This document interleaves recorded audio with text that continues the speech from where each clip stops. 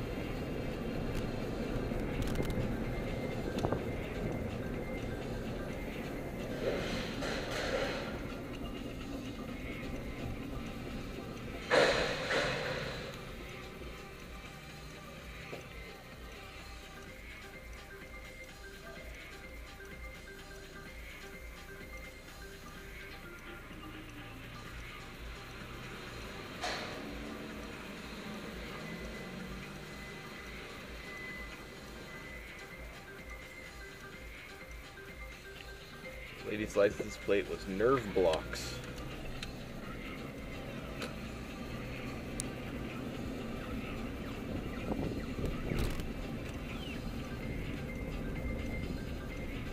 In pain? Let me give you a nerve block. A steroid right on the end of your nerve.